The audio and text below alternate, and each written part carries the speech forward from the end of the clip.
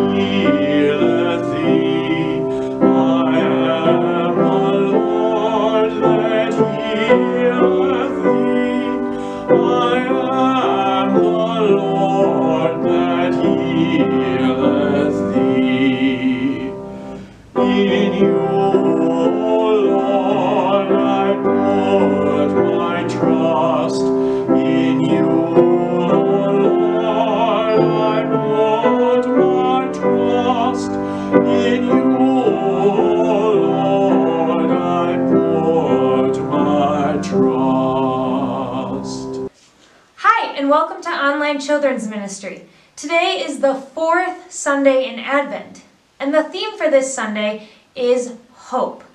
So, to help us uh, deepen our understanding of what hope is, I want to read for you a book called God is Hope. Now, hope means you, you can put your hope in things, which means you like are waiting for it to happen. You you might even trust that it's going to happen, or you're longing for it to happen.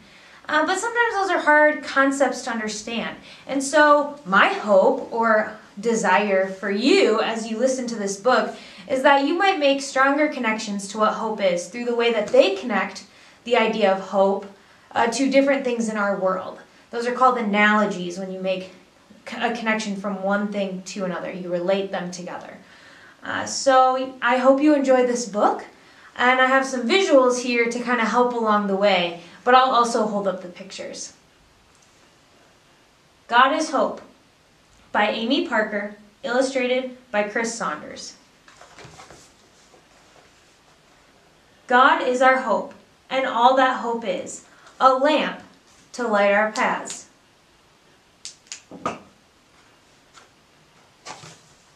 The warm sun rising on a waiting world our Savior arriving at last. He is the green returning to earth after the melting snow. He is the whisper of fresh spring rain, begging the flowers to grow. He is the promise of life in a robin's nest, wings about to unfurl. He is the strength in a fawn's little legs, standing in a brand new world. God is the blossom on the dogwood tree, marked with crimson and white. He is the angel rolling back the stone that frightened the soldiers that night. God is the sunlight in an empty tomb after three days in the dark.